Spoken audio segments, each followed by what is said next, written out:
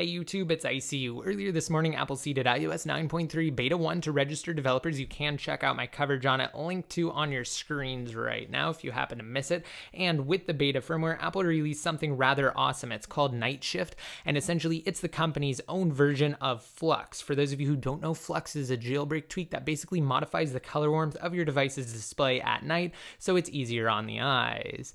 Now, before we get into this, I'm going to read through Apple's synopsis of Night Shift on their iOS 9 9.3 preview site. Quote, a lot of waking hours went into thinking about sleep. Many studies have shown that exposure to bright blue light in the evening can affect your circadian rhythms and make it harder to fall asleep. Night Shift uses your iOS device's clock and geolocation to determine when it's sunset in your location. Then it automatically shifts the color in your display to the warmer end of the spectrum, making it easier on your eyes. In the morning, it returns the display to its regular settings. Pleasant dreams. So while this is absolutely great and something that I've been waiting for Apple to implement out of the box in stock iOS for so long, it is such a blatant ripoff of Flux. But I love it, so let's get into it. I'm going to open up the settings app here. We're going to go inside of general followed by about, and I'm just going to show you guys that this is indeed on iOS 9.3 beta. So down below at the bottom for the version there, you'll notice again, this is on iOS 9.3 and that's the corresponding build number. So let's just go ahead and tap back out of that.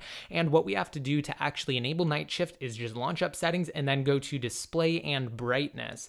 From there, of course, you do have your regular brightness slider, but what's really interesting is directly below that. We do have a blue light reduction toggle there. And when it's toggled off, we can actually just mess around with the slider to get a quick preview of how it will look once it's enabled. And then when we let go, it will just return to its regular blue light emission there.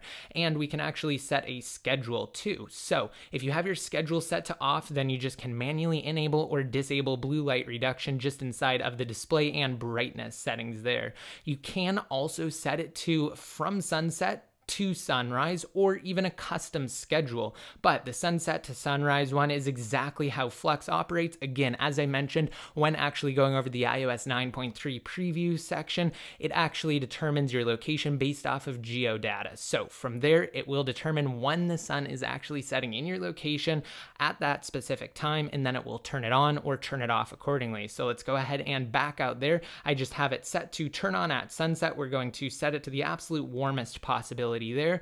And we're going to go back and I'm going to give you guys a quick demonstration just by going inside of settings general and we're going to go to date and time. I'm going to uncheck set automatically and I'm going to make it a time when it would actually enable. So as you can see, I set it to 831 there and boom, it automatically changes the color warmth of the display. This is absolutely great. I am so stoked that this is now native inside of iOS. What do you guys think? Let me know down below in the comment section. Be sure to give this video a huge thumbs thumbs up if you're excited and if you want to learn how to install iOS 9.3 on your device right now and you're not currently jailbroken because of course that would really be the only time you'd want to install it, then you can check out my coverage on it. I will have it linked for you guys in the annotations on your screens now as well as down below in the more info. It will be a direct link to my iOS 9.3 beta install guide, which again is part of my earlier coverage that I mentioned toward the beginning of this video. Now, if you guys want to be updated more often, such as when I release new videos similar to this one covering various things ranging from iOS updates to even jailbreaking, just be sure to click the subscribe button below next to my channel name, like me on Facebook, and follow me on Twitter. And until next time, this is ICU signing out.